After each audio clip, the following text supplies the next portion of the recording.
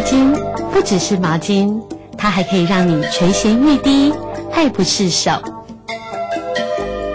成立了近三十年的新龙毛巾，同样也会面临新时代的经济竞争。但是接管毛巾厂第二代的林允穗，以不同的思考与创意，开创了毛巾事业的蓝海领域。我再回来家里帮忙的时候，哈，发现这个那当时的毛巾环境状况是非常的恶劣的，所以我在想说，要拉大竞争空间的话，一定要走破坏式的创新。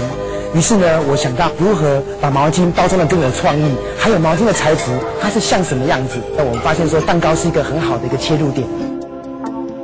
以丰富的毛巾制造经验，自行研发出各色蛋糕毛巾。来到这里，就好像来到蛋糕店一样。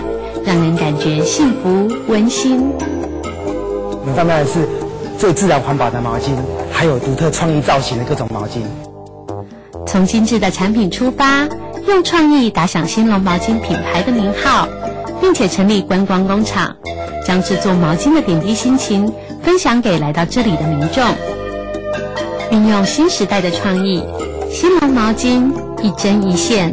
织出传统产业一片宽阔的蓝天。